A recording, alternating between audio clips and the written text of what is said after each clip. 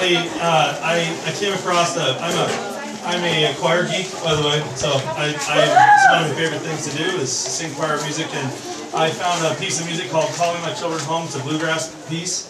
Um, it was originally sung by Chanticleer, this, this arrangement. Uh, if any of you know who Chanticleer is, it's a 12-man group of uh, San Francisco. They, um, but the, the thing that I liked about it, um, uh, it instantly made me think of this family reunion. Uh, there's a couple words that I'd, I'd, like to read if I can get through them. I shouldn't do this because it always screws up my singing, but you can if you want. um, uh, I just want to read a couple verses. Those lives are mine to love and cherish, to guard and guide along life's way. Oh God forbid that one should perish, that one alone, alas, should go astray. Back in the years, with all together, around the place we romp and play. So lonely now, I often wonder, oh, will they come back home someday? And the chorus goes, oh, actually, there's another verse that I like, I like to read. And it's the one that uh, touches my heart the most, uh, partially because I think it has some eternal uh, perspective. Um, sorry. Uh, I lived my life, my love I gave them, to guide them through this world of strife. I hope and pray we'll live together in that great glad, great glad hereafter life. I'm lonesome for my precious children, they live so far away. Oh, may they hear my calling and come back home someday.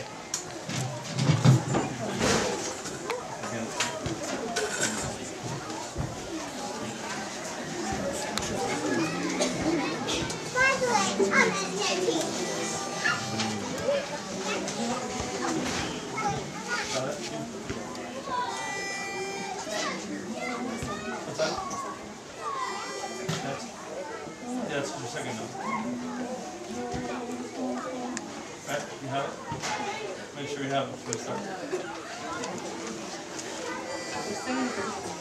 What's that?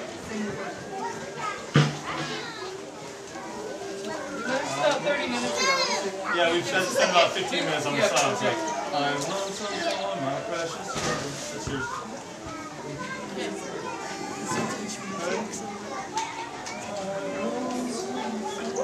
Can we start?